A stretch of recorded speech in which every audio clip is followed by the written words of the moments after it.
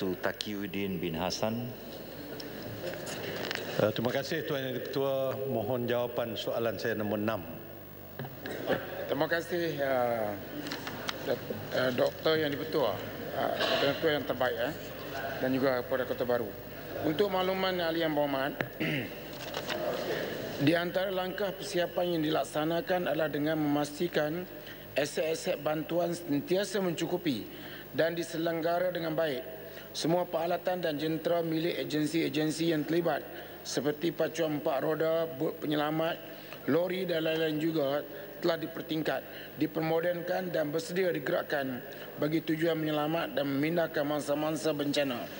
Kerajaan juga telah memastikan semua 569 buah pengkalan hadapan yang menyimpan semua keperluan pusat-pusat perpindahan lengkap dan berada di dalam keadaan siap siaga untuk menghadapi banjir monsun timur laut. Dari segi perincian terdapat 221 buah pengkalan hadapan di Kelantan, 162 buah di Terengganu dan 105 di Pahang. Di antara item yang disimpan di pengkalan hadapan adalah keperluan mangsa-mangsa pusat perpindahan seperti selimut, tika, bantal, makanan kering seperti biskut, beras dan lain-lain lagi.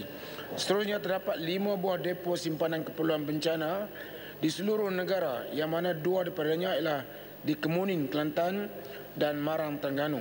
Selebihnya ialah di Bedong, Kedah, Muar, Johor dan Sungai Buloh, Selangor.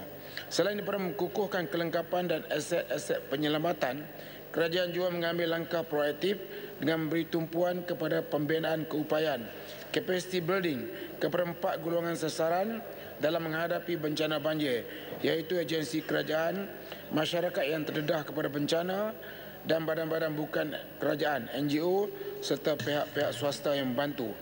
Dalam bina keupayaan ataupun capacity building, agensi ataupun jabatan kerajaan, jabatan pengurusan bencana, kerajaan sentiasa meningkatkan kepakaran dan koordinasi tempatan agar standing dengan negara-negara lain. Kerajaan sentiasa memastikan semua semua tindak balas bencana lebih terselaras dan berkesan.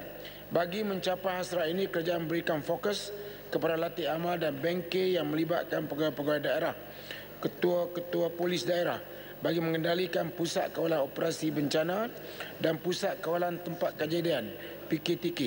Di samping bina jaringan perhubungan yang lebih baik, yang lebih baik. Ini berikutan dengan setengah para pegawai yang bertukar ganti kerana kenaikan pangkat, arahan pertukaran dan lain-lain.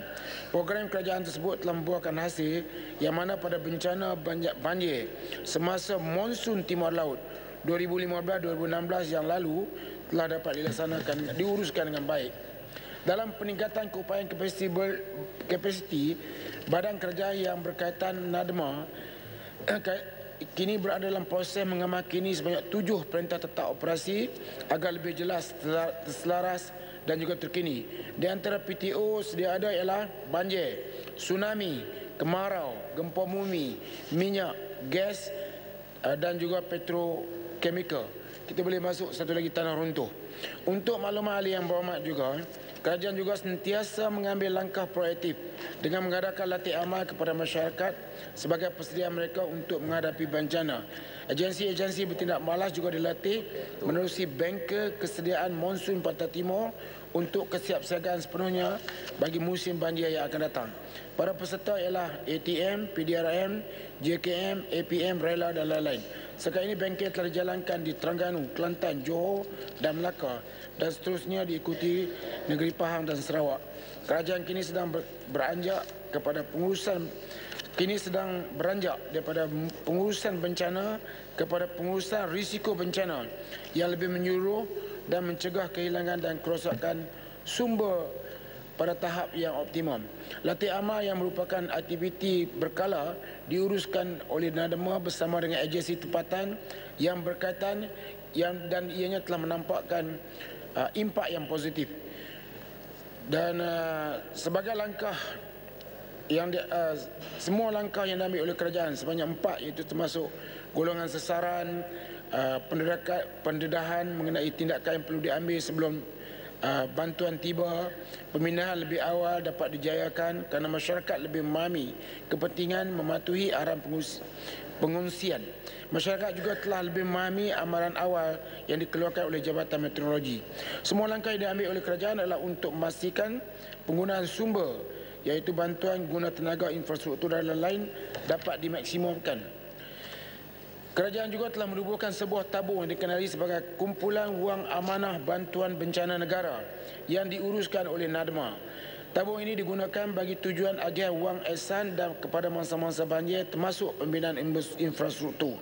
Pada tahun 2008 hingga 2017, sejumlah 100 juta 101.63 juta dalam bentuk wang ehsan kepada mangsa banjir di negeri Kelantan, 52.9 juta di Terengganu dan 55.85 juta di Pahang. Manakala jumlah agian wang ehsan seluruh negara ialah 422.4 juta. Peruntukan dari tabung ini juga digunakan untuk membina rumah kekal baru untuk mangsa-mangsa yang tempat tinggal musnah dalam banjir besar 2014-2015. Secara keseluruhannya 1,384 buah rumah kekal baru telah dibina di Pantai Timur yang melibatkan peruntukan sebanyak RM 113 juta termasuk juga pembinaan infrastruktur, pembinaan rumah kekal baru ada selaras dengan konsep Build Back Better di bawah kerangka kerja sandai bagi pengusaha risiko bencana. Terima kasih. Walaupun tidak dapat ditanya soalan lagi sebab masa tidak mencukupi, saya terima kasih dapat menjawab soalan. Ya, setakat itulah sesi soal jawab untuk pagi ini.